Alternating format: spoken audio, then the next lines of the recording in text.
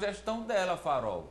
Amadeu, 84% né, de aprovação. É, vamos mostrar aí, ó. Tem na tela aí o gráfico, Farol. Olha aí, ó. Pesquisa Datamax, realizada entre 10 e 14 de outubro, ouvindo 600 pessoas lá em Esperantina. E o resultado é? Vamos lá. Aprovam a gestão de Ivanária Sampaio. 88,83%. Não aprovam só 7% e não sabem ou não respondem 4,17%. Aprovação recorde aí, viu?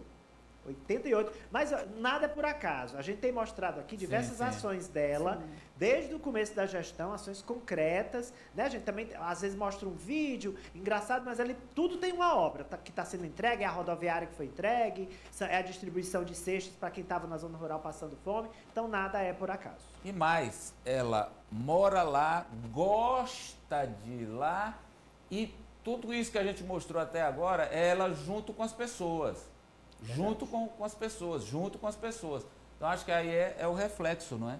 Do, deste trabalho e dessa proximidade que ela conquistou com a população de Esperantina, inclusive com gente que nem votou nela. Com gente que nem votou nela.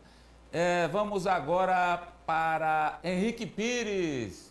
Ananias. Henrique Pires. Olha, Amadeu. Fica ou não fica, sai ou não sai do MDB? Nós colocamos aqui, inclusive, tempos atrás, o nome de Henrique Pires como um, provável adesão à oposição, já que o presidente do Progressistas, deputado Filipe Verde, estava na mira de três parlamentares. E aí Henrique entrou como uma possibilidade, mas ele respondeu sobre saída do MDB e ida para a oposição. Vamos ouvir o que ver. ele disse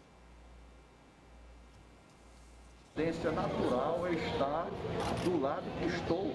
Isso é óbvio. Como é que você passa três anos, vamos completar três anos agora na base do governo, fazendo um trabalho grande ali com o doutor Magno Pires, dando vida realmente a um instituto que é importante para o Estado, naquilo que eu sempre lutei quando estava em Brasília. Abastecimento d'água, tratamento de esgoto, banheiro, da saúde da população e de repente você ir para outro rumo. Só um fato muito relevante, que nesse momento eu não enxergo isso, né? E pode haver uma mudança abrupta dessa. Henrique está dizendo que fica?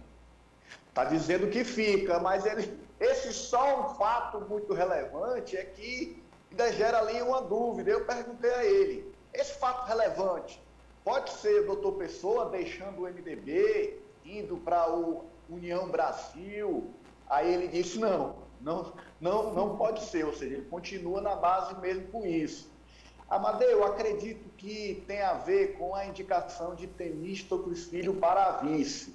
Só esse fato extraordinário que mude o curso dessa indicação pode fazer é, é Henrique Pires é mudar de opinião com relação a permanecer no partido e na base aliada.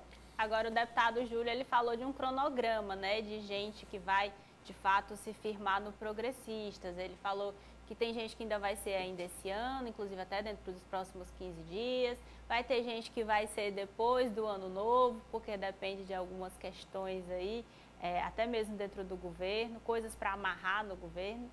E a questão do Querem deputado. Até o segundo, né, Isso, questão. Então. E aí, é que eu não posso falar a palavrinha mágica, né?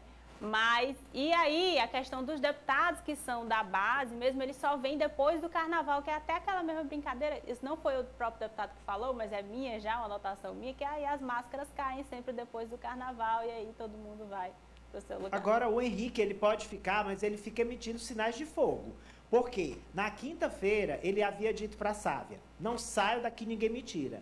Na sexta, ele disse: não descarto uma mudança. E hoje ele disse: não faz sentido eu ficar três anos num grupo e sair na reta final. Então é como o Ananias falou: ele deixou ali um senão, que é esse fato que o Ananias citou, né, o temísticos, o fator temísticos, mas ele fica emitindo sinais de fogo o tempo todo para o, o Karnak. Eu me lembrei de, 1900, de 2006, que era o seguinte: você lembra? O MDB estava naquela questão se ia apoiar a reeleição do Hélio, era da base do partido ou ia ter um candidato próprio Mão Santa, né? E aí o senador Marcelo Castro, na época deputado, disse o seguinte, olha, vocês aqui do MDB decidam até o dia 31 de dezembro de 2005 qual o rumo do partido para 2006. Porque se essa decisão não acontecer esse ano e a gente entrar 2006 na base do governador, ninguém me tira. Eu não tenho cara de ficar no ano da eleição